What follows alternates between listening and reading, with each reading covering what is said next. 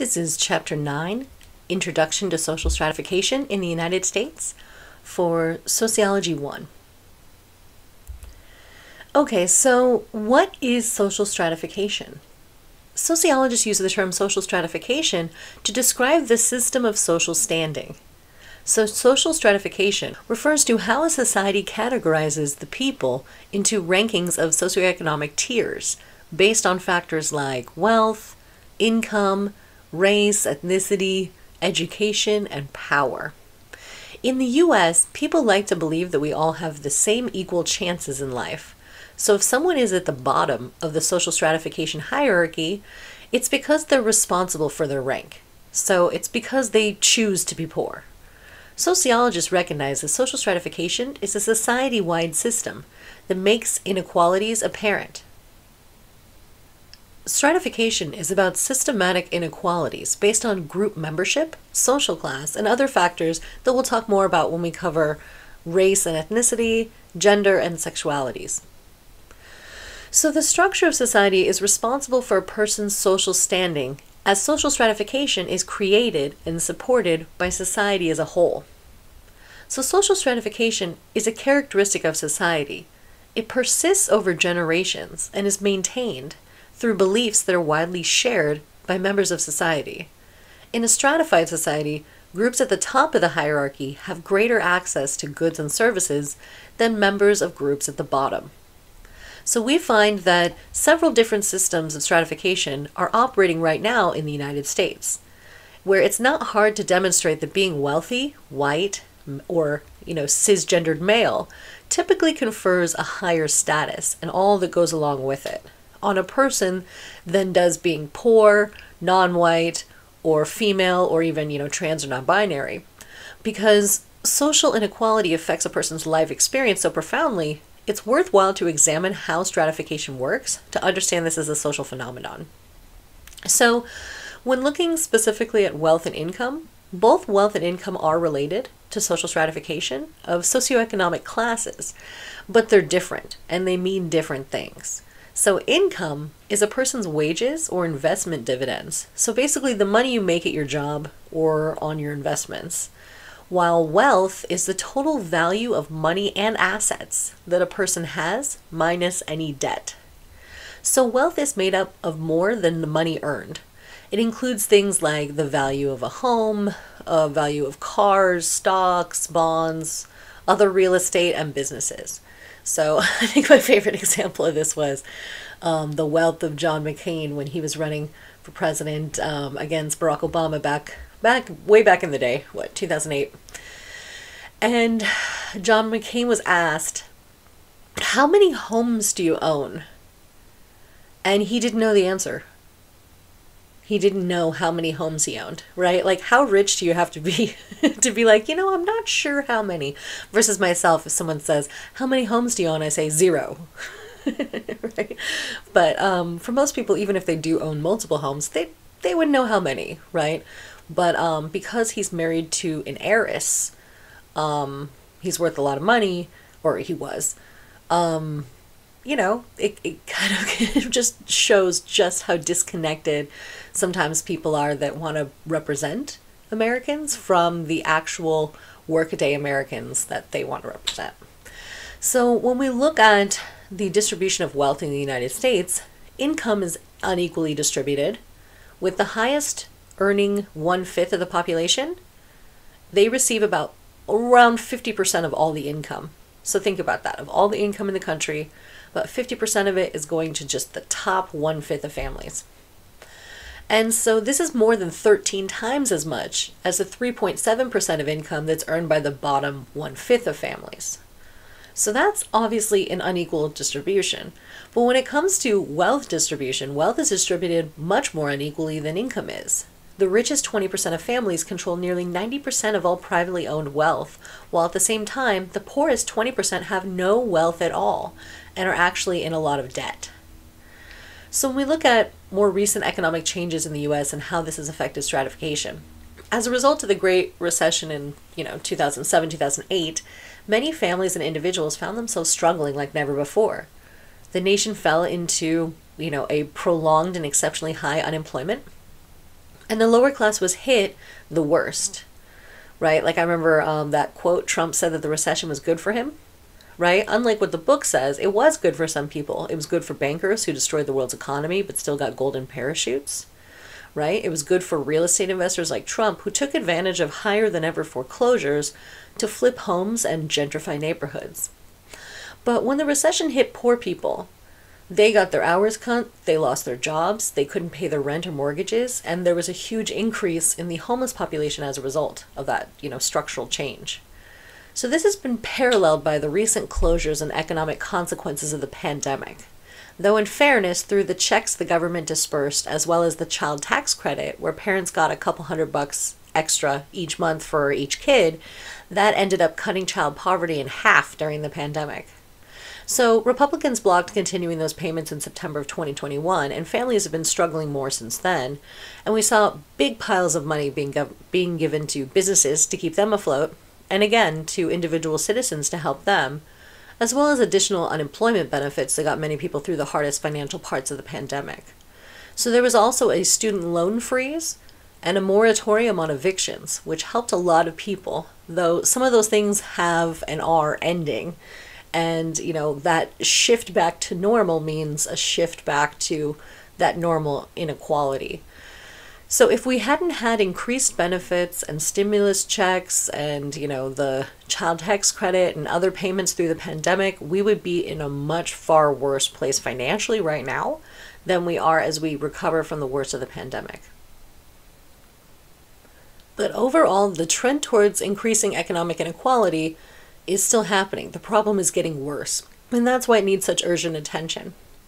We see when doing research clear patterns of rising levels of economic inequality in the United States. It's harder than it's ever been in generations to get by. So, my generation is the first in a while that's expected to do worse than their parents' or grandparents' generation, which is a big change from previous generations. And this inequality is more obvious than it's ever been especially through the Trump era when tax legislation gave the biggest tax cut to billionaires, more so than any previous legislation. This is part of the old Reagan trickle down economics, which is complete nonsense and not supported by data. In reality, if you give poor, working class, and middle class people more money, that money invigorates the economy, while billionaires can never spend anywhere near what they earn. So the adage of job creators it's just another rich person myth used to justify how obviously unfair the system is. Surveys find the majority of people feel the US economic system is rigged against them, and it's rigged against them in favor of the wealthy and in favor of corporate interests. So, um, there's a figure in your book that examines the share of income earned by the 1% from 1913 to 2015. In 1929, the richest 1% earned about one fourth of all income. And what happened in the late 20s? The stock market crash right, which caused people to develop laws and other policies to try to address inequality. As a result, from 1929 to 1980, the share of income to the richest 1% declined.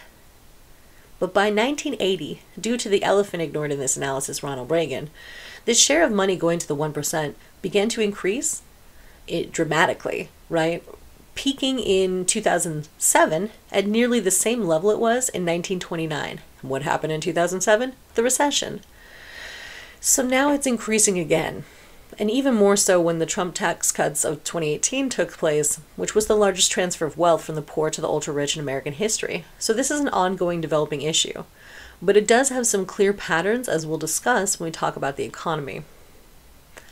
And so when it comes to taxation, the government collects collects taxes for three reasons to operate the government, which takes money to do so, to discourage behavior, and really as a tool to redistribute income and reduce inequality. But when you let the corporations of rich people have a million loopholes, then the intent of the system is undermined.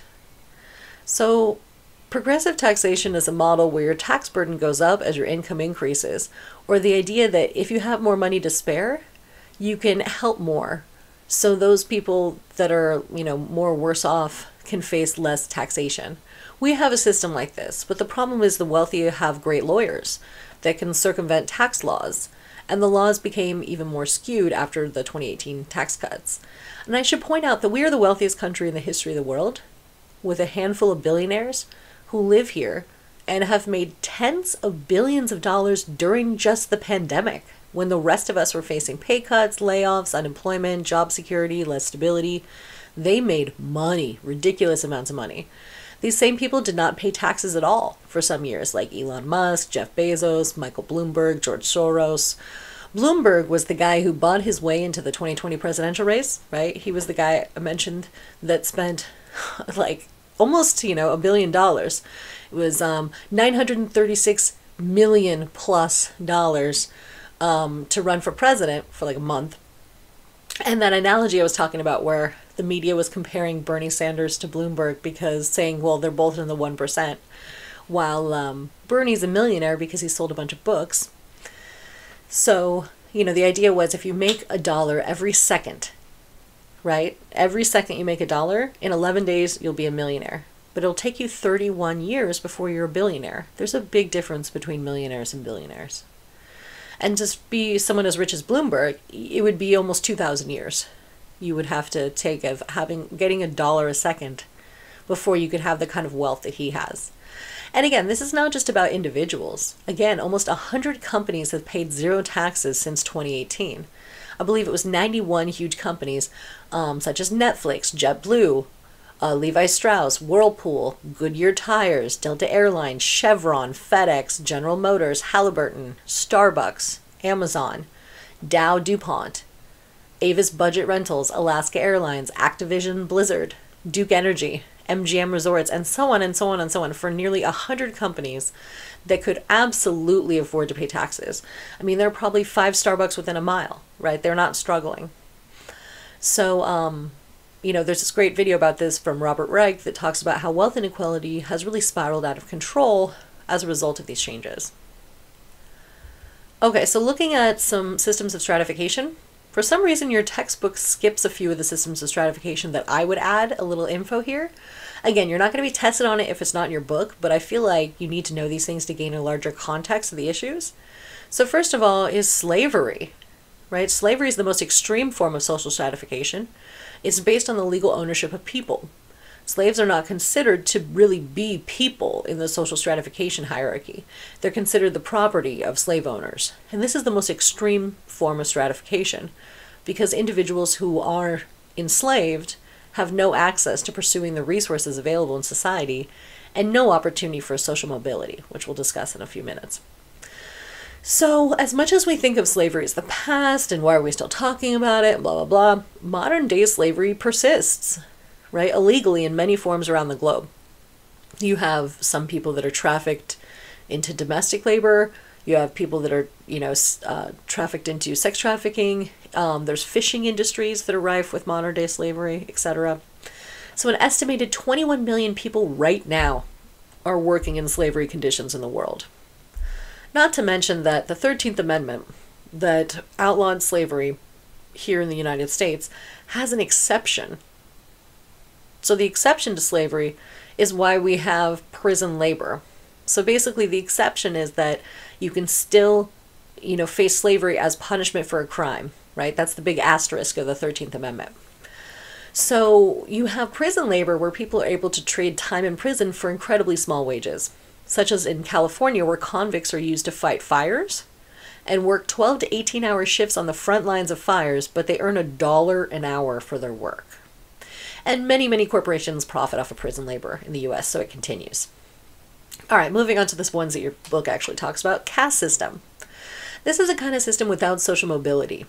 So, a caste system is a form of social stratification in which status is determined by your family history and background, so it can't be changed.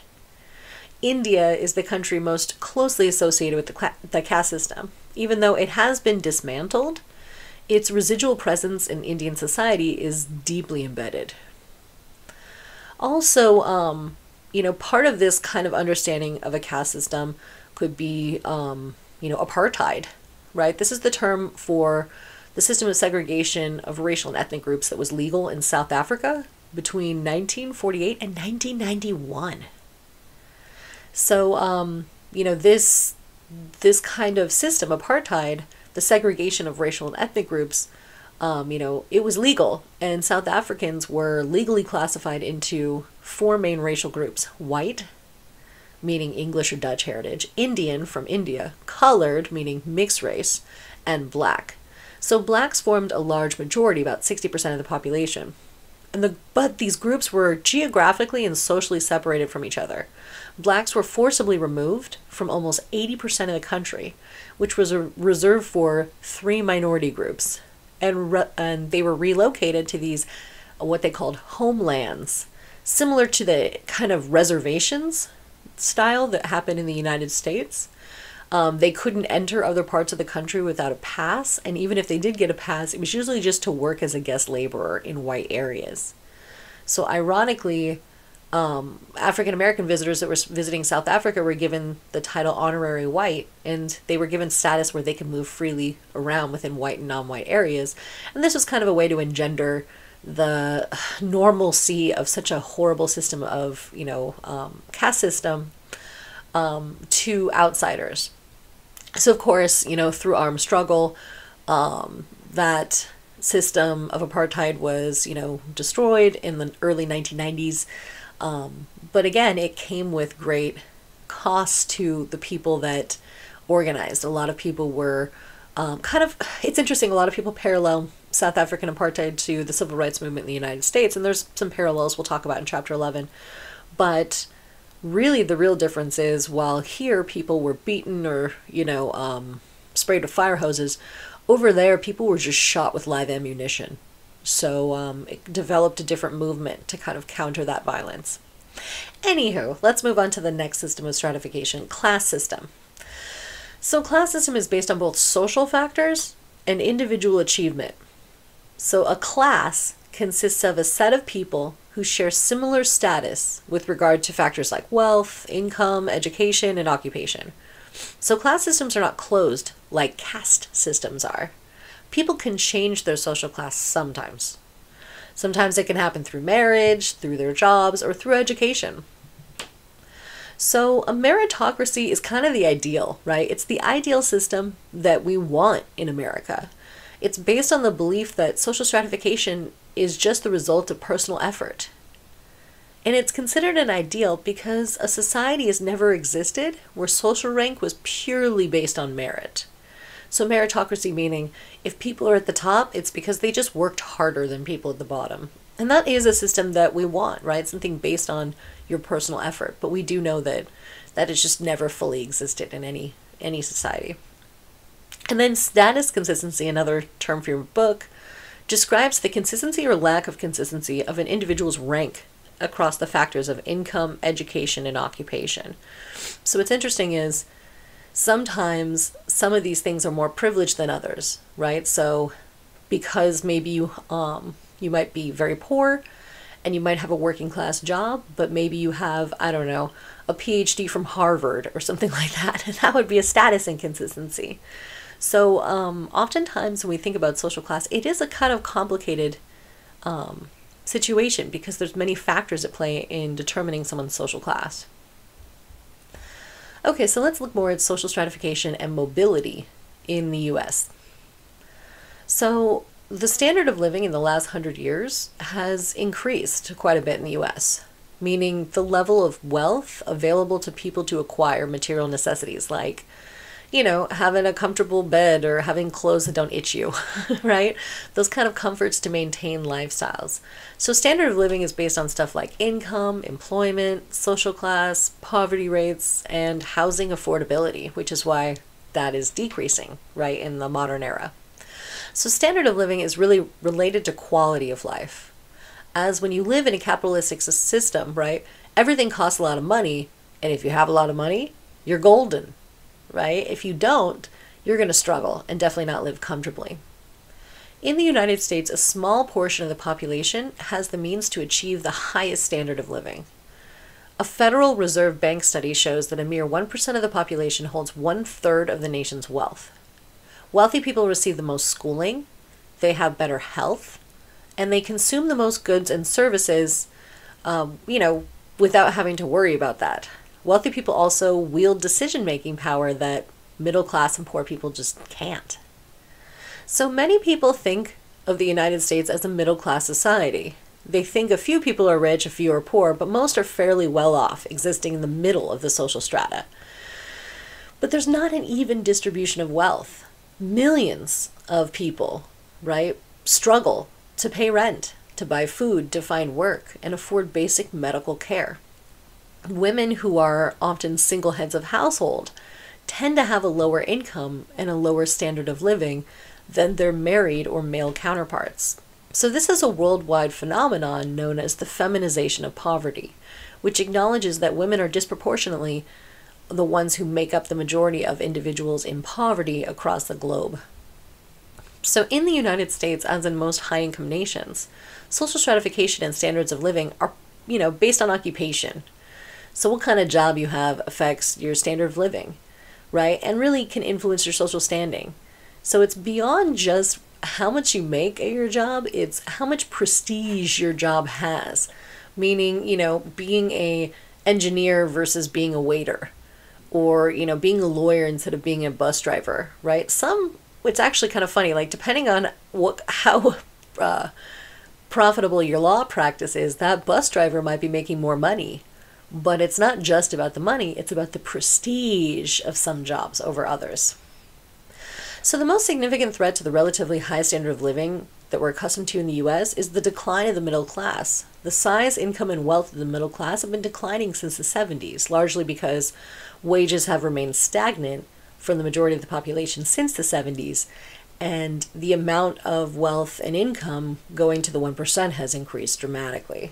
So it's occurring at a time when corporate profits have increased more than 141%, and CEO pay has risen by more than 298%. So while a lot of economic factors can be improved, like dealing with the inequitable distribution of income and wealth, or the feminization of poverty, or stagnant wages for workers while executive pay soars, you know, we're fortunate that the poverty that's experienced here is most often what we call relative poverty, not absolute poverty.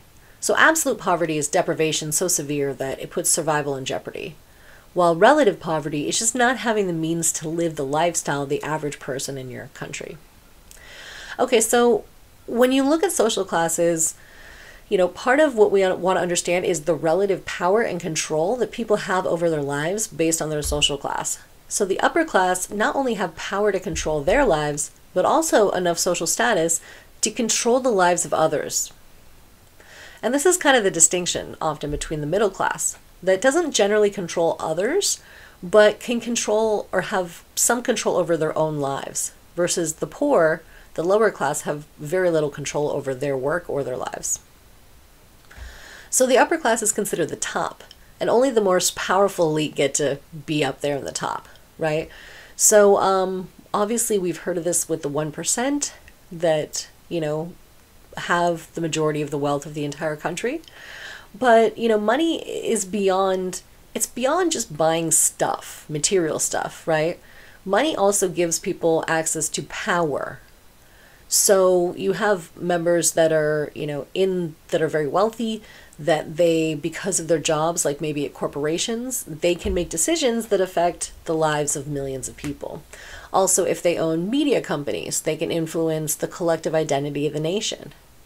Right? So right now we have the situation where you know, almost 90% of all media is controlled by six companies. So if you're on the board of one of those couple companies, what you put out there when you own all the TV, all the radio, all the newspapers, all the magazines, all those things at the same time, um, you're able to really strongly influence the kind of collective identity of the entire country. Also, they're the board members on, you know, of the most influential colleges and universities. Um, they give a bunch of money to politicians to fund campaigns, often to, you know, kind of remake the laws in the interest of what would benefit the wealthy. So the power is is used in many ways, right? Not just to buy stuff, but to control what people think, um, whether it's what they learn in school, um, what kind of laws are made, and really even you know um, how politicians vote on things. So the middle class is, is different. It's funny that most people consider themselves middle class, even though that's not the reality. Um, it's interesting in sociological research, we always say you can't just ask someone, like, what's your social class? You have to actually look at, like, what's their occupation or what's their income. Because sometimes you have people that make 30 grand a year and, you know, they think, okay, well, I'm the middle class. And then you have people that make over $200,000 a year and think, well, I'm the middle class. And they're both wrong, right? So it's interesting, though, that all we ever talk about is the middle class, like culturally. So it makes sense that a lot of people think that, especially if you hear politicians, they are always talking about the middle class. So that can really affect our perception that everyone is in the middle class. So um, there's even within the the middle class, there's like upper, middle, and lower of the middle class, if this makes sense, because it's a, you know, kind of sliced into a couple chunks there. So the people that are in the upper middle class, they tend to be the ones that have those professional degrees, right? And they tend to work in fields that pay a bit, like, you know, business or law or, you know, maybe they're doctors. Um, while lower middle class members are more likely to have, you know, um, bachelor's degrees from like a four year college or maybe an associate's from a community college. Um, so they make enough money to have a decent standard of living, but not the same as those people at the upper end of the middle class that have like very comfortable lifestyles. So comfort is the key concept of the middle class, right? So middle class people, they work a lot of hours, but they have comfortable lives. They have comfortable um, homes and nice cars, and they can actually have time to spend with their kids, and they can, you know, potentially go on vacations, things like this afford all of the expensive stuff in society, like healthcare. While in the lower middle class, you have a lot more people that are just kind of working those uh, middle management jobs, right? And so they can, you know, they come with a little prestige and slightly higher paycheck sometimes, but, you know, this is going to mean that they still don't really have enough money to go on those vacations, to have a lot of savings, to really move up that much. Um, and when budgets are tight, lower middle class people are often the ones to lose their jobs or kind of slide from the lower middle class into the upper lower class. Um, and then the lower class is just often what we call the working class, right? Um, largely, there's an educational difference on average between people in the middle class and the lower class, meaning oftentimes people in the lower class um, are working jobs without an educational background, so this affects their income. Or you know they're often working in jobs that you know might not require education. So working class people are the highest subcategory of the lower class. Um, so a lot of our work industry nowadays is like a service economy. Um, working class people are often doing the most physically demanding jobs of those jobs. Um, and then beneath the working class is the working poor. Just, they're like the working class um, they often have low paying employment, but their jobs rarely offer any benefits like retirement or health care. So their jobs may even be seasonal or temporary. Um, and so the real question comes down to in the wealthiest country in the history of the world, how can people work full time and still be poor? Even working full time, millions of the working poor earn incomes that are too meager to support their families. So the minimum wage varies from state to state, but it doesn't support a family of four in any state. And it will not pay for a decent two bedroom apartment in any state. Right? The federal minimum wage is still 725. So this obviously affects likelihood of mobility. And so social mobility just means the ability to change your social class, right? The ability to change positions within the stratification system. So if you can improve your economic status, you move up social mobility. But if, let's say, something negative happens and you go down, that's also something that can happen as well, right? So social mobility can be upward or downward. And again, upward re- refers to an increase or upward shift in social class, right? Um, sometimes it's that rags to riches story, but really it's more like education and marriage are often the ways that people move up, right? Like people say, oh, they're marrying up. Um, while downward mobility is you know people moving downward often like let's say you hadn't like you invested in something and you failed right all your bitcoin went away right stuff like that um, or it could really be something like a disability or an illness that makes people um, you know kind of drop out of the working world in some ways which, and even this could be like dropping out of school or getting a divorce, right? Things like that that can be a loss of income and status that cause a downward social mobility.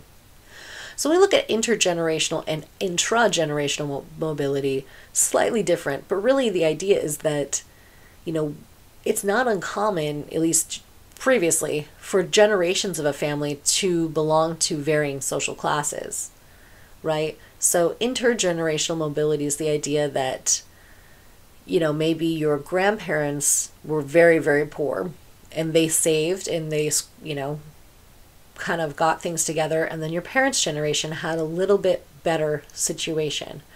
And they worked hard and they did their thing so that you have a better situation than your parents or grandparents, right? That's kind of part of this American narrative. But um, it's a little bit different than something like intra-generational mobility. So this is when you can move up and down a social class in your own lifetime. And so this is why you're in school, right? because we know one of the biggest impacts on inter intra-generational mobility is education, right? So that's so good on you. All right, um, so structural mobility happens when societal changes make it so a whole group of people have to move up or down the social class ladder.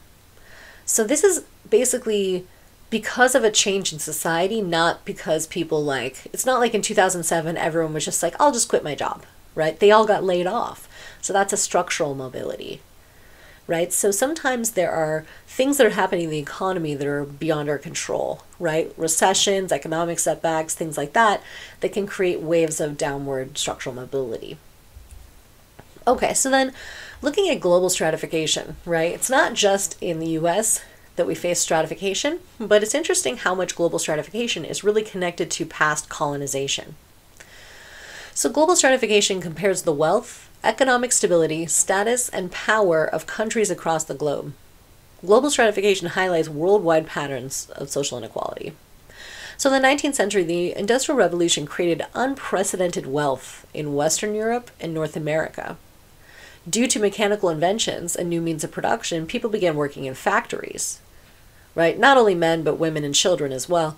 And by the late 19th and early 20th centuries, industrial technology had raised the standard of living for a lot of people in the US and Europe. But the rise of the Industrial Revolution also saw the rise of vast inequalities between countries, those ones that were industrialized and the countries that weren't industrialized.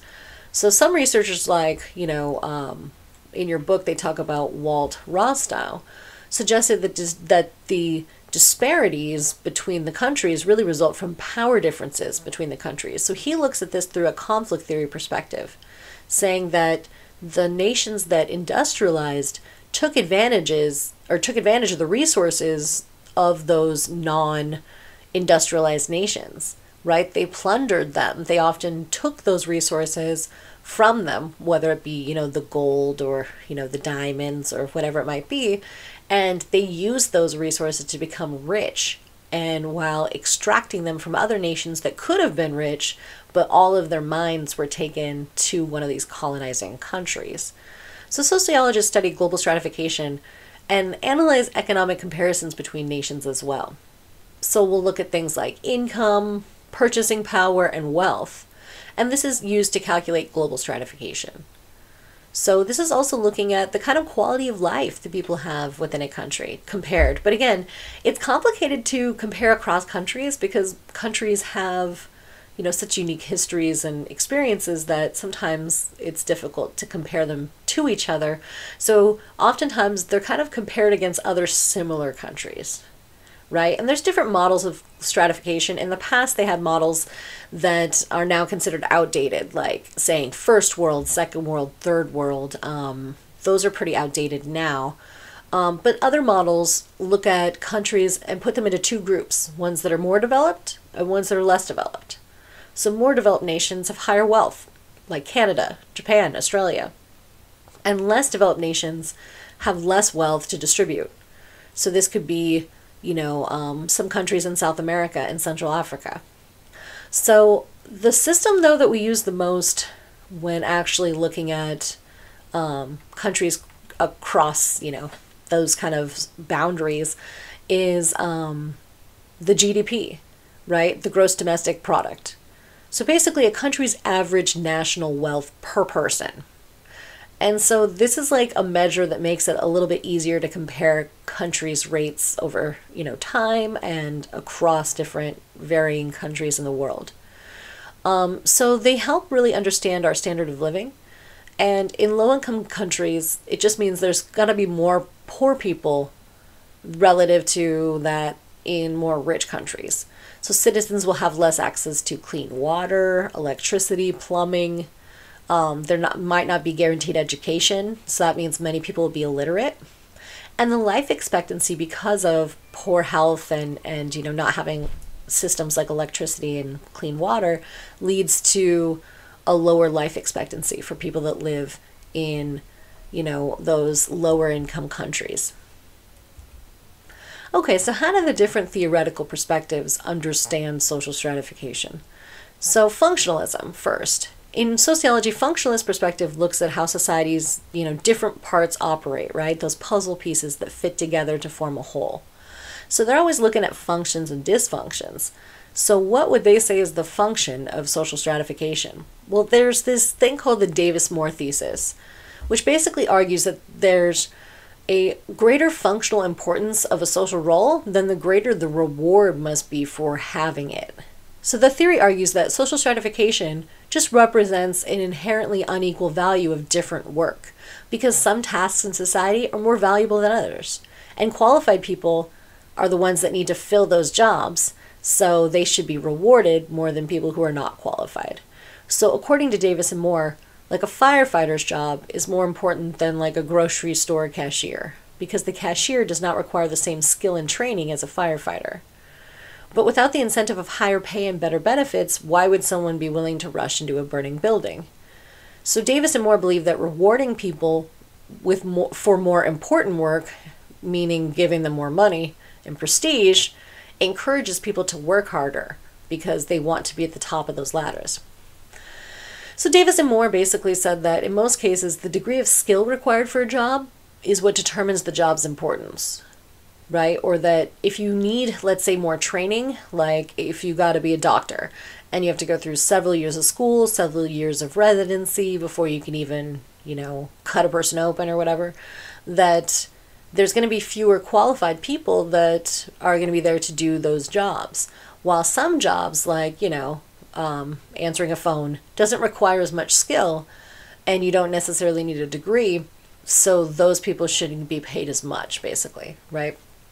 So, conflict theorists would say that that's, um, they would be critical of that because they would say that um, we don't all start on a level playing field. So, the Davis Moore thesis kind of ignores the existing social stratification of society. The idea that someone becomes a doctor only for the money is like, well, maybe they do, but also who can become a doctor is really influenced by what kind of neighborhood they grew up in, um, what kind of social class their parents had, as to what likelihood of a higher education they have. So, conflict theorists are deeply critical of social stratification, and they argue that it really benefits some people but not all of society. So, conflict theorists believe that social stratification just perpetuates inequality. So, they want to bring awareness to inequality to show how rich society, you know, if it has this many poor members, it's a choice. So, conflict theorists draw on the work of Karl Marx, who saw workers as being alienated and, you know, miserable because of having no power and no status. So he argued that the proletariat were oppressed by the bourgeoisie and that they needed to come together to kind of foment a rebellion to overthrow that class system. So today, while some working conditions have improved, conflict theorists believe that the strained working relationships between employers and employees still exists, as capitalists still own the means of production. And that means they're going to keep getting rich while workers continue to be poor. So, according to conflict theories, the resulting stratification is what leads to class conflict. And then moving to symbolic interactionism, remember, they're the ones that say that we make meaning when we interact with each other. So, they examine stratification from a micro level perspective, trying to understand how do people see themselves and other people so, and their social class and how that perception affects their interactions with each other. So, in a lot of communities, people interact with, with people that really share the same social characteristics, meaning they tend to live, work, and associate with other people that have the same background. So this could be the same racial or ethnic background, but really the same educational background, but really the same social class background. Right? Where we live in pretty segregated society.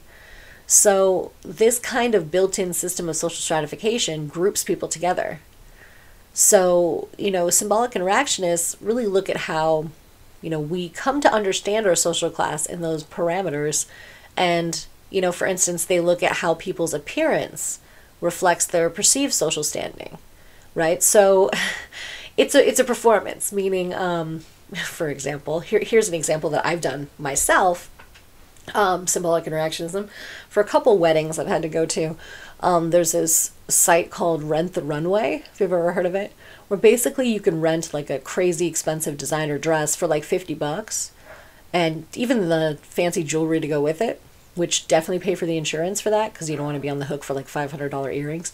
But anyway, in those couple times I've had to be in real rich spaces, I've basically cosplayed as a rich person using something like Rent the Runway um, as a way to try to make it seem like I, I was supposed to fit within that space.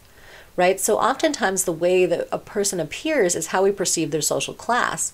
So, if they have like a fancy car, that indicates social class their hairstyle their their housing the what clothes they wear that kind of stuff really can affect it but then again as you see with influencers that stuff can all be kind of a performance as well right so it's really about the perception we get from looking at people which a little bit can be gamed right and then a little bit just the last part here is about conspicuous consumption so to symbolically communicate with social standing, people often engage in what's called conspicuous consumption, meaning they buy stuff because they want to make a social statement about their status.